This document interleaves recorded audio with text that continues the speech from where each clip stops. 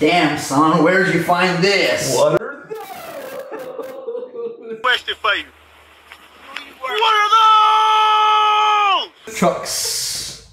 It's too much style. It's the red salt? Authenticity. Authenticity. Authenticity. Chucks. You know that girl who you got the Starbucks of? You know she put a smiley face on your Starbucks cup? Yeah. Why are you surprised? You gotta go like me and get a fully brewed Persian tea. So I've been listening to Andrew Huberman about sleep cycles. Yeah, he's, he's actually really good. Decaf. He's really good. The decaf. Should we talk about the elephant in the room? Your big head. Well, I think that's an understatement. Good morning, good afternoon, good morrow, Good eve. good eve. How do you do? How you doing? Should we talk about the elephant in the room? The statement piece. The greatest king of all time. We're in the new digs. There was nothing on the wall, and we said we need something for the wall for the recording. You're a bit more conservative. You were thinking of let's get a nice piece of art or some patterns or whatever the hell. I, I'm yeah, clearly I don't know what I'm talking about.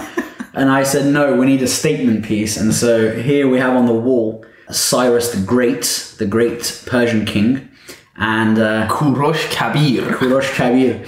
And the reason people need, before we get into the usual topics, need a few seconds education on this is because beyond the, here we go again, beyond the fact that, very long story I won't go into, I had to change my traditional Persian king name to anglicize it in order to break into the corporate world years ago. But even then, when I kept an anglicized version of a Persian name, which is Cyrus, we won't go into it. But No, no, no, wait, I want to tell the story. it's brilliant because literally, I, I think it was you were on the phone. I've, I've heard this, not direct, I wasn't there, but I've heard it directly from a mutual friend of ours, Mr. Carpet. And uh, he says you were on the phone and you were complaining to someone, or no, you weren't complaining, but you're always complaining to customer service. Actually, side note, if you ever need someone to test your customer services, get him to fucking call them because he'll drive them insane. Chucks. But um, aside from that, apparently you were on the phone and someone, you said, My name's Cyrus, and someone said, How do you spell that? Then you went down a rabbit hole of history. This is what I was going to say. Every fucking place I call, this is why people, the get, the viewers, listeners need a bit of education because customer service, or, or I call anywhere, like, yep, can I just take your name, please? Cyrus. Uh, uh, uh, how, how, how do you spell that, sir? Cyrus? It's like Miley Cyrus, except that will be a huge, huge insult. Disrespect. Uh, uh, okay. Um, so anyway, the next security question. Uh, no, we're not done there. We're still on the name. the human rights that you enjoy so much. Oh my god, here we go. Do you want me to ruin that for you? Tell me. Well, I, I, I've seen it. We're not going to discuss that. But anyway, Cyrus the Great Persian King, creator of human rights, freed 40,000 Jews from Babylon. He's actually a Jewish prophet, if I'm not mistaken. Yeah, he conquered every pretty much part of the dense part of the world at the time. The Romans bowed down to him. The Greeks bowed down to him until, of, of course, later he was defeated partially, but we won't go into that. but anyway, But even Alexander the Great talks about how he wanted to emulate his empire, which is really interesting. yes. But anyway, I just thought it's a nice piece of art. To be honest, it's a Iranian uh, content creation. It's an Iranian artist somewhere. Authenticity. selling it somewhere on the world wide webs, uh, and so I thought let's support a uh, fellow. There's, there's, wait, I just want to troll you a little bit. There's this post on LinkedIn. You were telling me about it. I saw it today as well. Loads of people liked it. Rex Woodbury, I think you said it was from Index Ventures. Yes, And he like done a breakdown of what all of the like the top ten buzzwords in tech right now: Web three, NFT, a bunch of other stuff, creator economy. DAO, DAOs, community, all of this stuff, right? And I think in the last five minutes, you've probably used what, twenty, probably twenty of those words. chucks. and the funny thing is, he said, I think he said the second or third one was authenticity. It was. And I thought, ha ha ha ha, oh shit. For an industry that talks so much about it, isn't it interesting that it's lacking authenticity? Mm, I think the only industries lacking authenticity more than tech right now is just traditional finance and law and all the bullshit. But tech is a lot of bullshit. We're seeing a lot of podcasts in tech pop up where they're just too. It's very tense. It's not very, involved. You're not involved. I'm involved. As the great Curtis Jackson says, uh, if we Fifty Cent, for those of you don't know. if we can't be friends, then we're enemies. There's no in the middle. shots fired. Yeah. People talk about authenticity a lot because tech is lacking it. I listen to a lot of podcasts people share with me. Oh, have you seen these guys doing pods now? These guys doing pods now. Some, don't get me wrong, some are very good, but a lot of them, people in tech, they're, they're just not real. Let, let's put it bluntly. I, I don't know if they're not. There- there's a lot of the EQ. They're either EQ or they're trying to protect a, an image. Snoop Dogg was on Joe Rogan's podcast saw, yeah, recently, yeah. and it, it opened with something like how he succeeded and just because he just enjoys himself. He is just himself. He said, "What what better job in the world than being you?" But in tech, almost everyone I come across with, everyone we come across with, everyone we, like we deal with or whatever, very very very few are actually themselves. So it is what I, it is. I, it's a couple of things. I think one is that yes, they are. There's a lot of um, a lack of authenticity because people have to, you know, techs become more corporate and people have to give a certain persona. For example, if you're a GP, you've obviously got LPs that you can't piss off. If you're, you know, someone who's got an online presence and that's what you've built your following around and that's where you've got your funding from, etc. There's a lot of people being, you know, unable to be authentic. But interestingly, as techs become more and more corporate, you see a lot less of that authentic nature of people. And actually, quite ironically, the whole hipster movement was born out of Silicon Valley and the tech guys, and then it spread to New York, etc. And so, at some level, there was always authenticity in this space because you had to be a little bit contrarian, different to be in tech. But right now, it just seems like it's kind of going down the toilet. Having said that, there are cool new guys emerging, not necessarily podcasters, but like YouTubers who do cool things on YouTube for them for them for themselves really. And because there's not anyone else there and they don't have to like answer to anyone, they're quite cool and they're quite authentic and you can see they're being themselves. So I respect those guys. when I was in corporate towards the end, and the reason we're talking about this authenticity stuff because Rex Woodbury touched on it, and James Lo, we threw up this post from LinkedIn. James Lo, the Mana CEO, said, My time at Web Summit reminded me of two things. The first one, when it comes to investors, authenticity greater than sign, name recognition every time. I lost count of the number of high name recognition, low integrity investors who treated every approaching startup like dirt. Understandably, these VCs felt like celebrities while being hogged by every startup on the planet, but they lost any semblance of curiosity in what these startups did and what their unique insights were, and it goes on and on. And his second point was we all need more serendipity, which I agree. There's one bit that you should say. It says, instead, they were cheering drinks with old mates basking in their fleeting moments of glory while dishing out condescending dismissals. Fucking hell.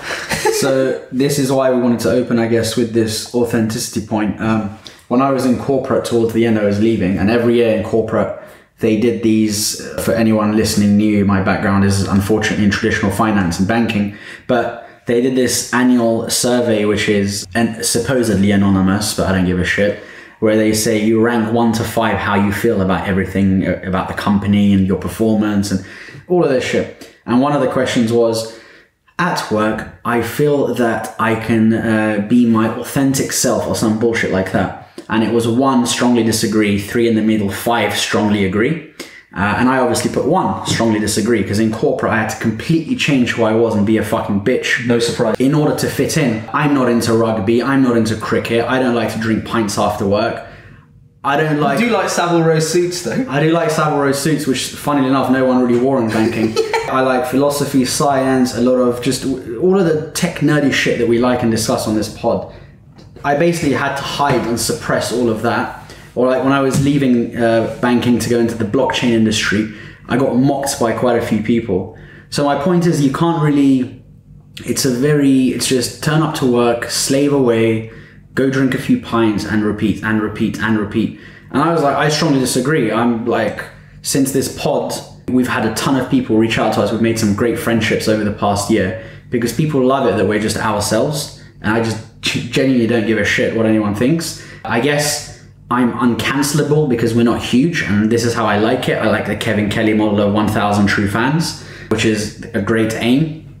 But my point is, back in corporate, I put this strongly disagree. They had a all hands meeting or whatever shit they call it, and they said uh, a very senior guy got up and said, Well, in this recent survey, um, we've seen that one of you uh, has said that you strongly disagree, and uh, and obviously everyone knew it was me, and it's like okay, and then someone else, like a goody two shoes uh, female, got up and said, "Oh well, uh, uh, uh, I I think I can totally be myself. It's not like if I'm going out clubbing on the weekend, I'm going to be like that at work." I was like, "You fucking idiot! You don't get the points. You don't like just." So anyway, authenticity is very rare. If you fuck with rational, you fuck with authenticity. Trucks. That is true. If you fuck with rational, you fuck with authenticity. Basically, just good luck trying to cancel us. You can't cancel us. And and the what? Sorry, one last thing is uh, a great tweet a few weeks ago by.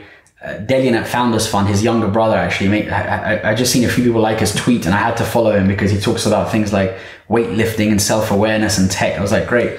Um, Yeah, he's based. That he- kid is based. He's based. And one of his uh, tweets was something around he thanks himself for speaking his mind on Twitter and putting out authentic tweets because he's already cancelled himself from being able to get a job at like very large corporations. skin in the game.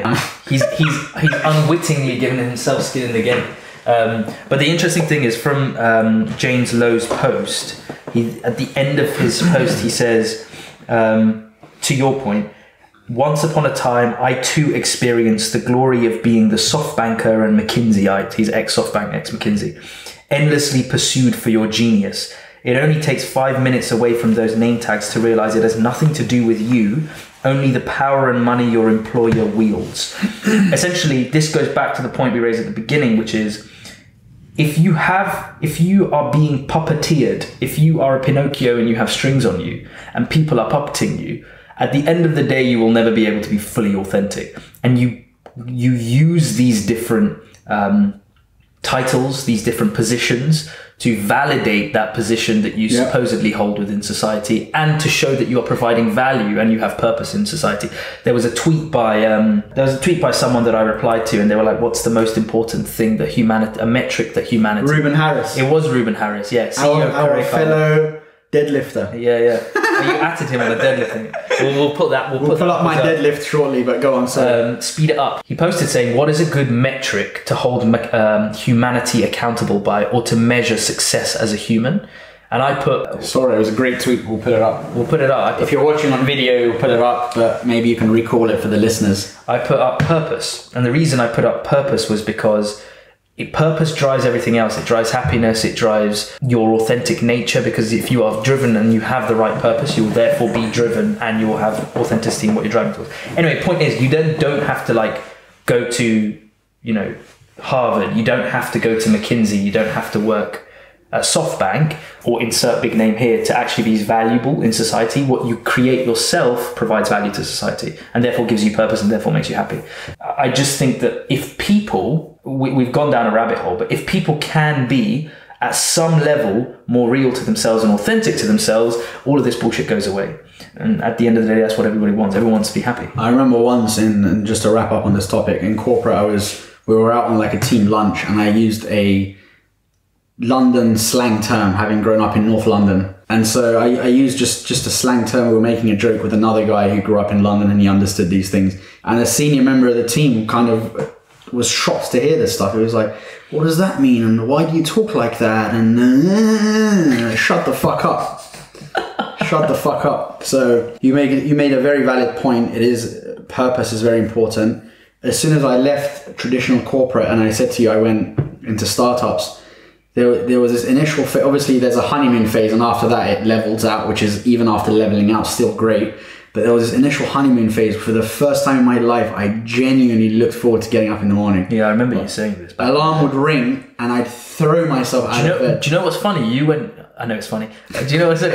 there was this um, uh, period that you went through, and in fact, you actually cut. You didn't cut yourself off, but you went into a deep, uh, deep work sort of rabbit hole of setting up your business. Cal Newport Deep Work times Solitude Marcus Aurelius Flex. But, but it literally was that because we didn't hear from you for a good like you I came off all WhatsApp, platforms, all platforms, yeah. everything. You were off everything for Trenches. a while. You properly went into the trenches, as Chamath says, and but the the ironic thing is you were probably working ten times harder than you were in banking, with ten times less con- uh, context switching, um, but you were enjoying what you were doing, and you wanted to get up in the morning and do it. So authentic. I know, I know this is like a big bitch, epi- bitching episode about corporate, but just a final Oh, point. for fuck's sake. I remember there, out. there was this one time where I mean, this is this, This is isn't a podcast. This is therapy for my friend here. this is for all the kids who fucking reach out to us for uh, advice for getting into banking, which is as my new essay going out tomorrow about angel investing. I always tell these kids: firstly, get your sanity checked. You must be deranged. Secondly, learn to code, and thirdly, read Brian DeChesare's article on know why you will not make ten million dollars working in finance and have your own beach in Thailand. Plugged here, uh, an essay you should read that I've plugged many times. But lastly, there was this one time in corporate which really uh, was was the breaking point for me, which is someone said to me, "Have you checked that email yet?" And I said, "What email?" And the, the email from uh, it was a company we were working with, a client, and I said, "No." Like, can you reply, please? I opened the inbox and the email came in two minutes ago, and so my response to that now would be the book by Cal Newport, A World Without Email, and his book Digital Minimalism, and more importantly, his OG book Deep Work. And I actually had this book on my desk in corporate because I would read it on the train a few times until I finished it, and I got mocked a couple of times. But there was there was one based guy who left for tech as well. When he saw it, was like, "Ah, you, we think very much alike. This is a great book."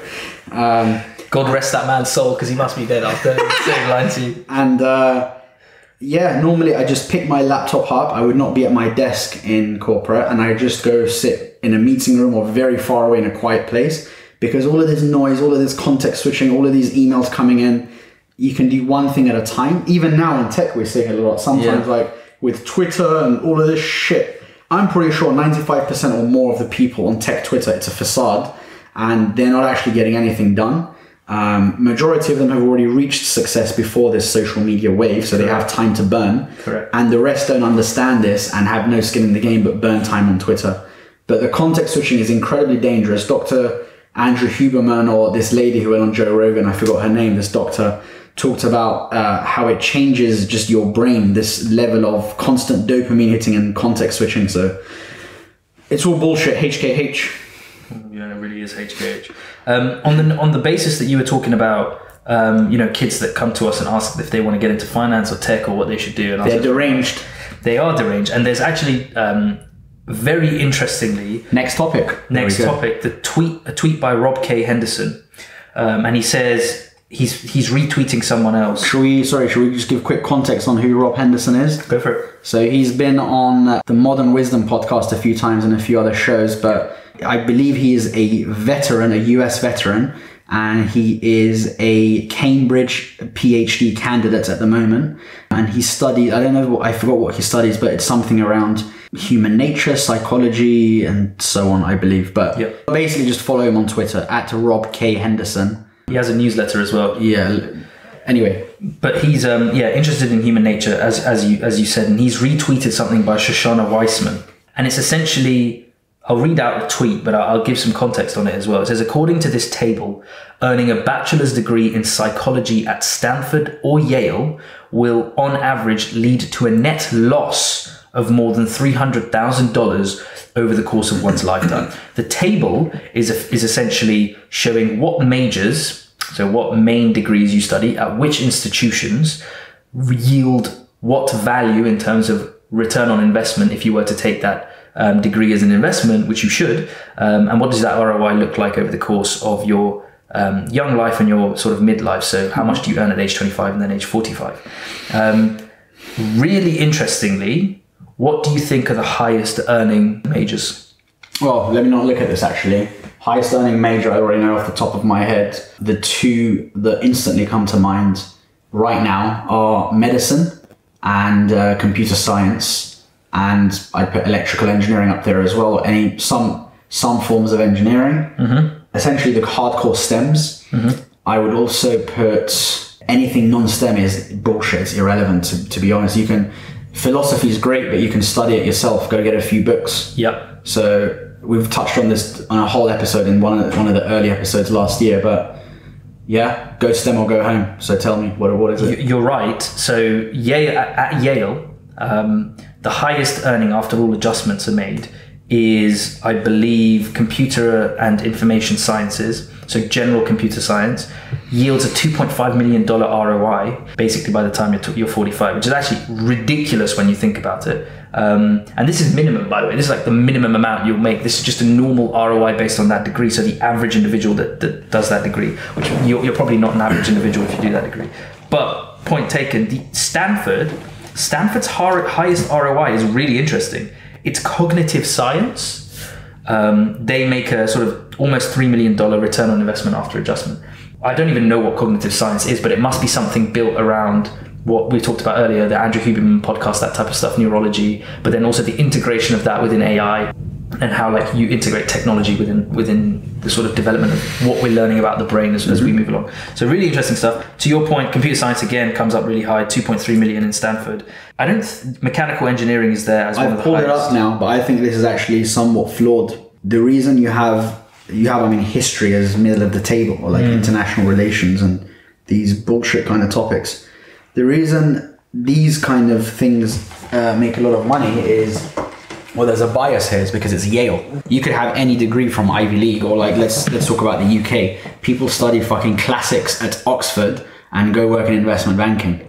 So it's more about where did you study, and I think the earnings here are skewed by all the morons who go into traditional finance because traditional finance takes any degree as long as it's from a top university. Mm-hmm.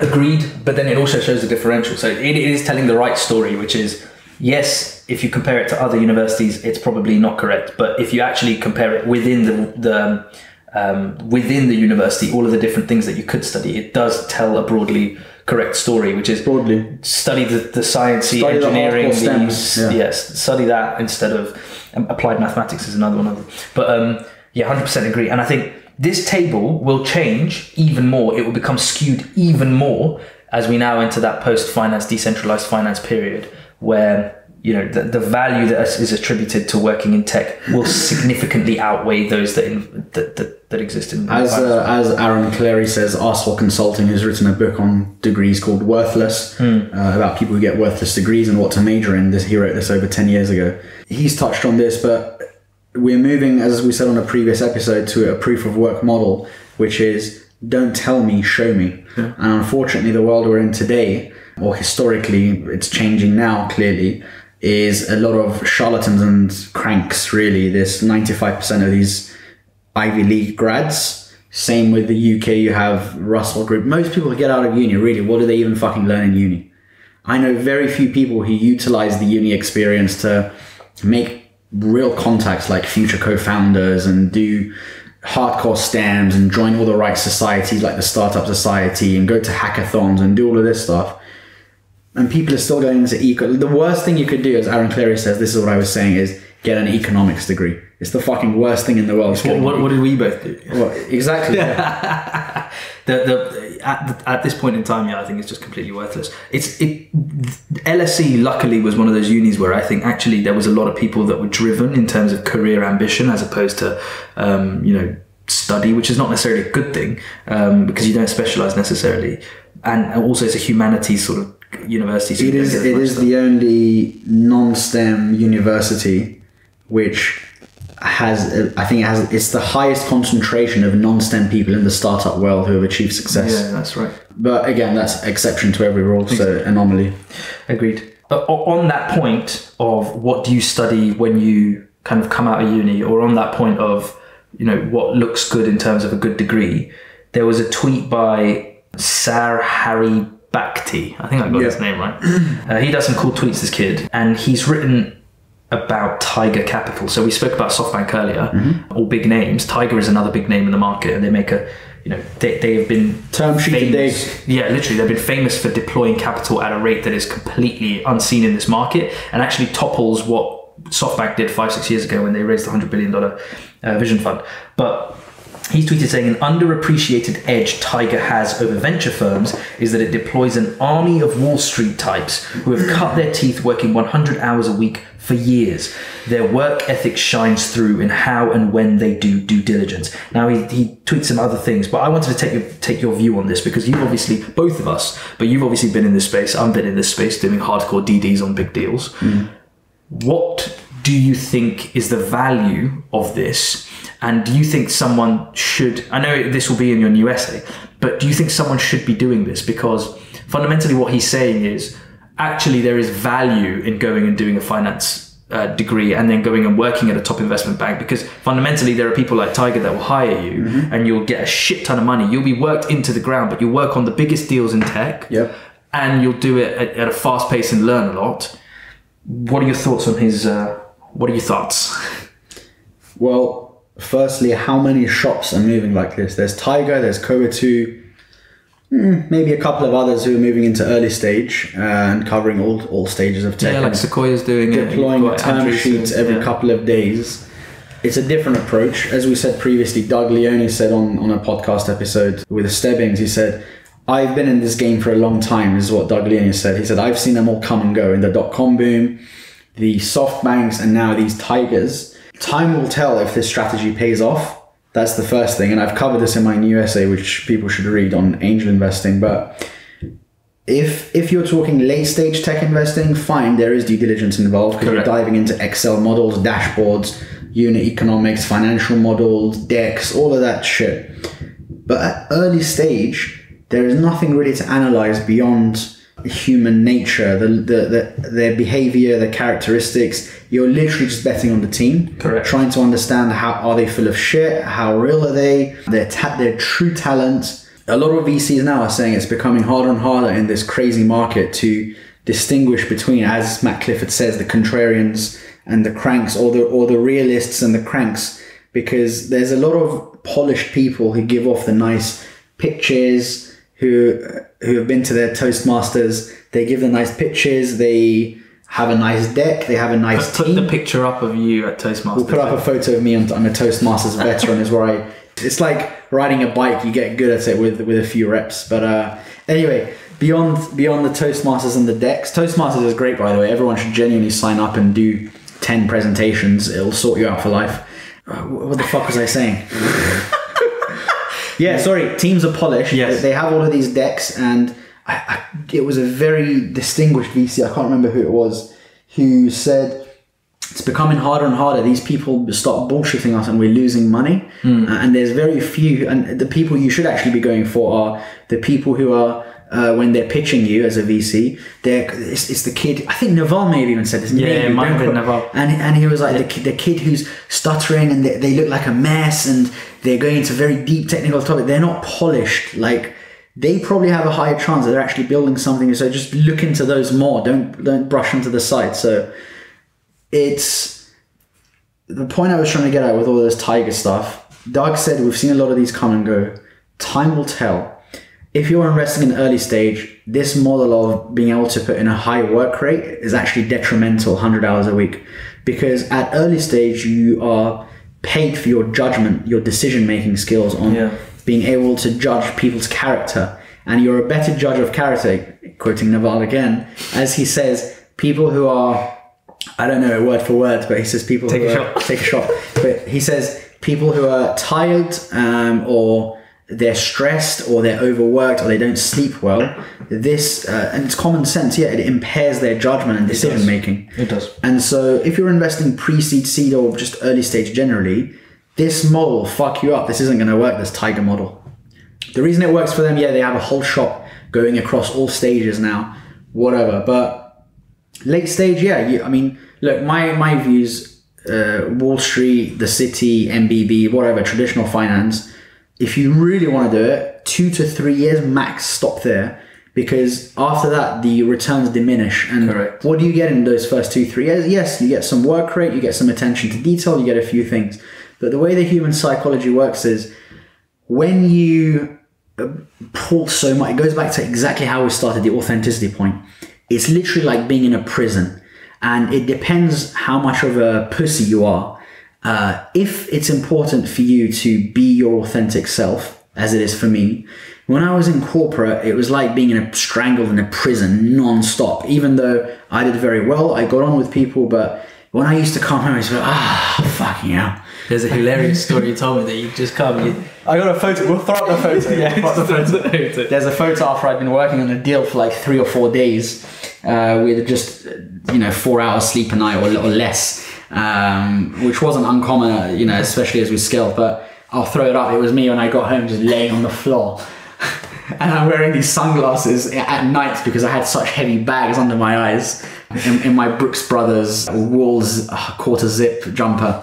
Anyway, I'm done. what was I saying before this this bullshit? What was I saying? Uh, Basically, you're saying that you Oh, just sorry. Just do it for two, three years. Yeah. The results diminish, and and yeah. So when when you're being strangled and you're not able to be your authentic self and you overwork, when you get out of corporate, it's it kind of goes against you because there's so much for you to explore that you go crazy. You're like a kid in a candy store. So it actually go, works against you. I think as as everything as the, the, the rationalists say, mental models, as the rationalists say, it's all about balance. Max two three years. Even then, it, it, it may impair other areas of your life long term. Even after getting out, I don't know. Do what works for you. Use some fucking critical thinking. It's it's not rocket science. It's very important for people to spend time in solitude to develop more self awareness and what they like, what they don't like. But this tiger model of working 100 hours a week, yeah, you have attention to detail, you have work rate. It works for later stage deals where there's more numbers to crunch and analysis to do. But generally, if you want to be an angel investor in pre seed where it's more fun and exciting, no. But these people who have moved to Tiger from Bain, and apparently Tiger has Bain on retainer, it's just an extension of their job in Wall Street. It's literally the same. Except they make more money and they get carried. But the, the interesting thing is, oh, well, you might get AMP as well. The interesting thing about this, and I think this is what we'll try to wrap it up with, is whether applying the Wall Street DNA, as as um, Sar calls it, applying the Wall Street DNA to how deals are done in venture highlights two things for me. One, it highlights that uh, you're able to deploy capital at scale at this current point in time for various reasons, including the fact we're about to enter an inflationary period, which we'll pick up on in a minute. But two, it's interesting because it shows a shift in what venture capital actually is, and I think a lot of this was driven, of course, by uh, SoftBank, you know, five five years ago. But it's essentially providing a, a new uh, entry point into what funding in this space looks like because everybody wants to be involved in this funding and the way in which to make sure you make money. This goes back to our very first episode we did, which is around the dartboard analogy of venture they have literally scaled the dartboard analogy to Yeah. the maximum level possible, doing one deal a day at that rate. They need people to deploy to do those types of deals. And it doesn't matter if it's early stage, late stage, whatever. The interesting thing about them is that they come into the market with such significant diligence into things that we that even founders were surprised by. If you look at this thread by Founders have been impressed. Founders who have gone through the Tiger process have been impressed. loads of founders DMing uh, Sar, and he's posting them publicly, saying like, "Look at how impressive they were. You know, they um, how quick and thorough they move. Uh, you know, they sign NDAs. They meet meet within a couple of days. They come with product roadmaps, revenue projections, customer projections, customers and industry experts that they could talk to, um, and potential introductions. So like." They are they are doing this really really well, but to the point around whether you enter that industry, mm-hmm. I think you're right in which you can do it in one or two years and learn a lot from them. But also, I think if you have the opportunity to join a place like Tiger at the minute, I don't think it's a bad thing. I think you get access to so many people and so much value deal. It's a great thing, but probability, there's not many of those shops. There's not many of those shops, and in fact, you're probably better off being authentic to yourself and creating something for yourself on Twitter that is the antithesis to what these Wall Street guys want to do because they want to be under the radar and make their money. Now, if that's you, amazing. If you're happy to work 100 hours a week, amazing. If you're happy to, you know, live in that office box and just bang out diligence, which it can become really boring after a few few years of doing it. Um, both of us speaking from experience. If you're into that, good, great. As long as you're authentic to what it is that you want to do. Um, Facts. yeah. Pure facts. But then on, on there's one thing I want to move this conversation onto, which is our favorite data guy, Ethan Mollick at E Mollick. He's a professor at Wharton who I think studies um, innovation, entrepreneurship, and what he calls ephemera, the ephemer- eph- ephemeral human existence. So he talks about he does this tweet that talks about being authentic in a really interesting way, which I want to pick up with you, which is he says, Twitter really does have influence with venture capitalists. In fact, he references a paper. This paper shows it can help startups make up for bad networks. If your non New York City, Boston, or Silicon Valley startup has a standard deviation more influence on Twitter than average, you raise 1.5 million more dollars from VC. Basically, what he's saying is that having a Twitter following has has statistically been proven by a standard variation um, that you will be able to have access to networks that will enable you to therefore raise more money. This is goes back to the point around authenticity because if you're building that following on Twitter, if you're getting loads of people around you on Twitter and you're making a buzz, one, yes, you get access to more capital because LPs want to invest in your rolling fund or whatever it is that you want to set up. But two, if you're a founder, you're able to leverage that that network in a way that enables your brand to be valuable to LPs, your brand to be valuable to GPs that want to invest in you. So Yeah. I, I, it's amazing that we're getting research out that, that proves this, but it's like if if there's any platform that you want to be authentic on, in my opinion, it's Twitter. I think this model over any model, like the Tiger model you were previously discussing, yeah, great, but it's still it's the reason they're able to deploy so much every day is because it's heaps of L- LP funding. None of it there's no skin in the game. Whereas if you're on if you're building, Sriram Krishnan actually said this. His general partner Andreessen Horowitz. He said, "I I like to look at." Because on Twitter it has this feature of who follows you, uh, of who who do you know that follows this person, and he says he really likes this feature because it gives the person credibility. It's essentially it's, it's human nature. It's social proof. It's like who else fucks with this person? Who? So, but there is a big but. There is also a ton of fucking bullshit on this VC Twitter space. Yep. There's there's too much bullshit, uh, which is why we saw success of meme accounts like VC Brags and all of these accounts. These accounts are great because they behind every joke there's truth is because they're just ripping into the, all the bullshit that VCs just say and do. And a lot of people have actually calmed down since VC Brags has popped up, which I think is great. There's an Instagram page called Praying for Exits, which is fucking hilarious as well, man. the guy works in VC and he's um, he's a funny guy. Ethan Mollick also tags another tweet which is referencing this, where he talks about a paper that was written by Tomas Jan, Braun, and Stoltz.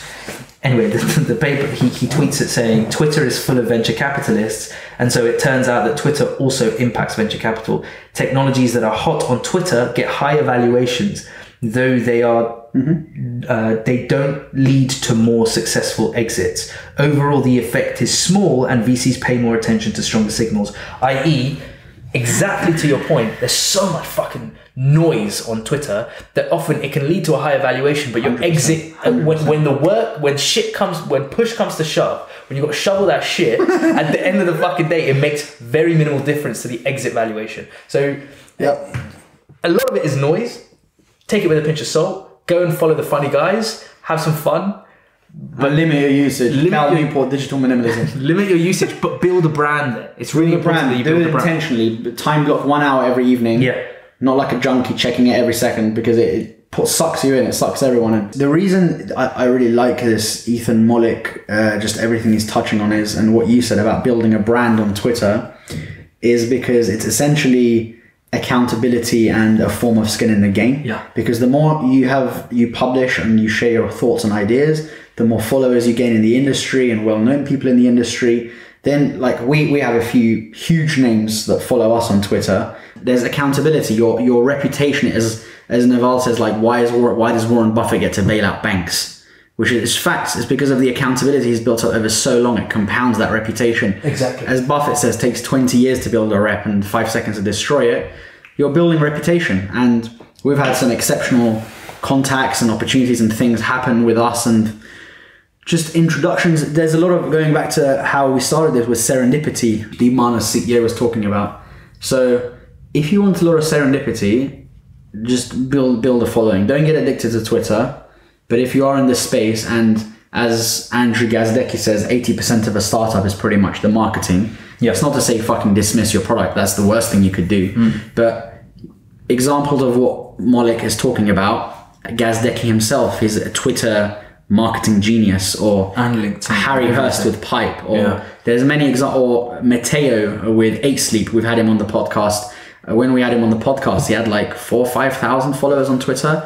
God knows how many he's got now. I think maybe He jumped on that Miami wave when it was hot, and then like, maybe 50, 60,000 plus. I'm guessing. and, he, and he built his own rolling fund off the back yeah, of his yeah, yeah, Twitter. yeah. So yeah, you use it in moderation, but be intentional about how you use it. Yeah. There is a, there is ROI out of it, but it also could be the biggest time suck and loss if you don't know how to use it effectively. to, to, to close this bit up, um, the guys from My First Million Pod, which is one of the biggest um, business pods that exists out there. Shaan Puri is one of the guys. By the way, um, he posts some really good things, and he's intentional and consistent with his Twitter usage. He posted something about the metaverse and why everyone who thinks about the metaverse has got it wrong.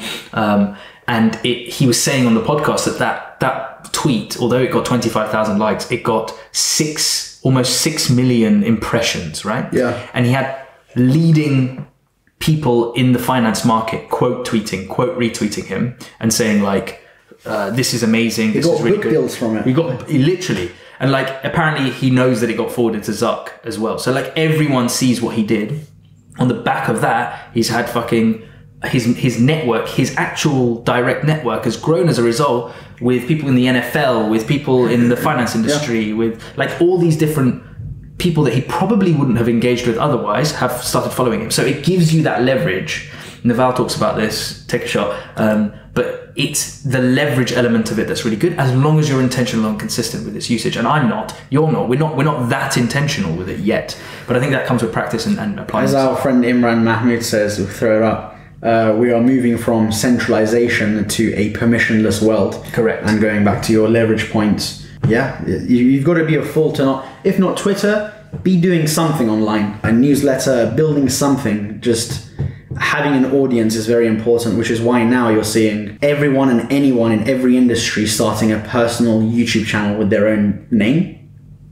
Like Gary Neville in football in the UK, he has a podcast now where he just walks with ex-footballers and talks, or like Yeah, he's got just Sky Sports. anyone and everyone has has their own platform now. Or like we've seen all the big tech guys going tripling down on on YouTube, like Justin Kan and Garry Tan, and everyone is just going ham on YouTube. And Sriram's got his own. Sure, like everyone is.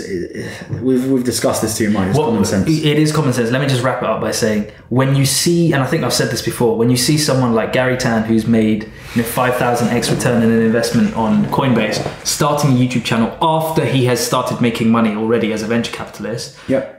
you know where the direction of this market is going in terms of authenticity. He doesn't need to be doing it, but he is. So. Um, I think that's it. I think that's everything we wanted to talk Any about. other topics? No, I'm sick of you.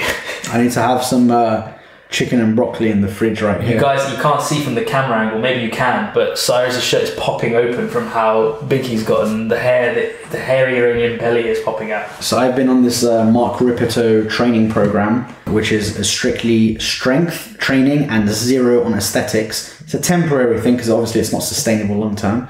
But the whole uh, thesis is that you get stronger by eating more and following his program. And so it's destroyed me. It's like three, four thousand calories a day or something like that.